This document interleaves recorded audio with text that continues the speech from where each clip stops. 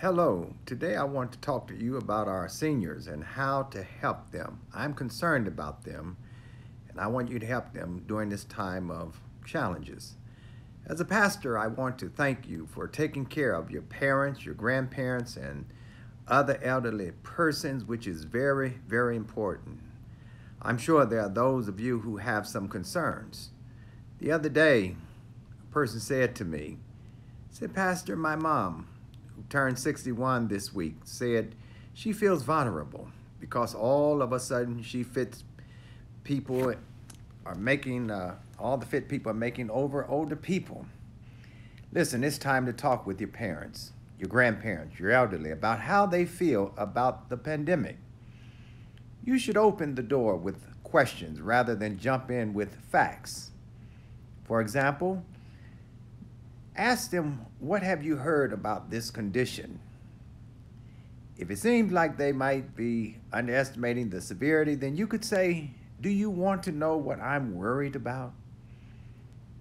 Allow them to invite you into their conversation versus you jumping into a conversation and facts.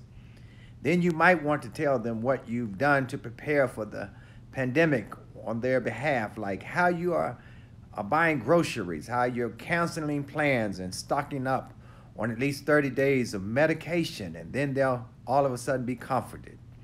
You see, this allows you then to convey your concerns for them without talking down to them or forcing them to do anything. And lastly, never forget the tone matters. Despite the urgency you might feel, it's important to avoid pressuring or badgering family members who are older into a certain course of action.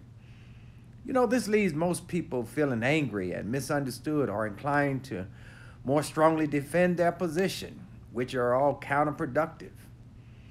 If your family members won't budge, if your seniors won't budge, even after you've offered information and shared your concerns, then you should respect their decision to avoid hearing you and damaging your future relationships with them and keep space open for the future conversation.